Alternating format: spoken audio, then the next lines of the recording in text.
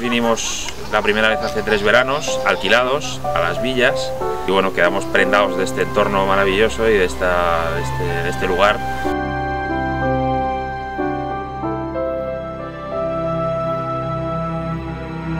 y después de tres veranos eh, disfrutando del rompido, pues quedamos tan, tan, tan enamorados de esta zona que decidimos comprar una casa. Porque es que mm, el rompido enamora.